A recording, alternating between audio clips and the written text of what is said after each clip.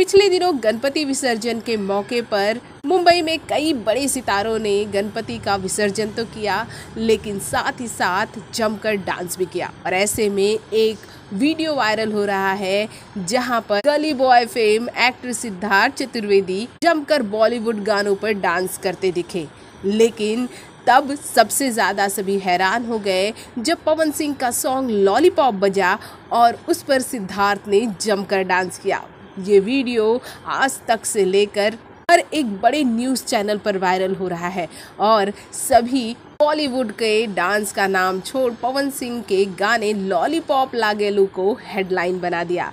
जी हाँ लॉलीपॉप लागेलू। सॉन्ग जब भी, जहाँ भी बजता है, दिलों की धड़कन और कदम के ताल को कुछ ज़्यादा ही बढ़ा देता है। ये गाना भोजपुरी का एवरग्रीन गाना है और इसे भाई हर एक पार्टी फ़ंक्शन में बजने का लाइसेंस मिल चुका है। फिर क्या बॉलीवुड, क्या शादी ब्याह और क्या बड़ी बड़ी पार्टियाँ।